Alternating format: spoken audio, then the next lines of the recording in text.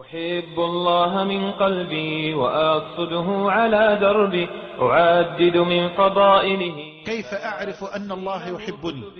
سؤال رائع جدا. إن كنت تحب الله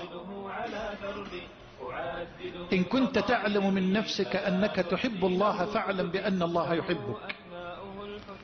لأن الله جل وعلا يقول في الحديث القدسي الذي رواه البخاري وغيره من حديث أبي هريرة من عاد لي وليا فقد آذنته بالحرب وما تقرب إلي عبدي بشيء أحب إلي مما افترضته عليه ولا زال عبدي يتقرب إلي بالنوافل حتى أحبه.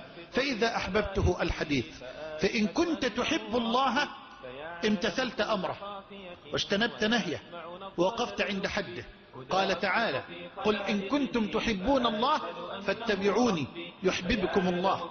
فالمحبة محبة الله أصل من أصول الإيمان.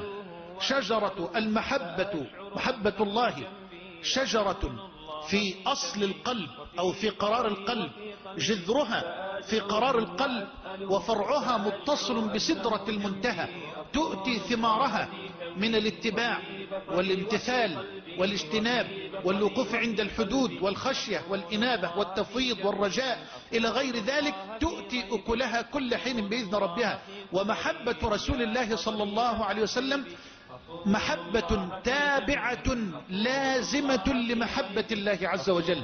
وعلى قدر محبتك لله تكون محبتك لرسول الله وليس العكس. وعلى قدر محبتك لله تكون محبتك لرسول الله. لأن محبتك للنبي تابعة لمحبتك لله جل وعلا. فعلى قدر حبك لله يكون حب الله لك. على قدر حبك لله يكون حب الله لك. واسمع التانية دي كمان. وعلى قدر رضاك عن الله يكون رضا الله عنك.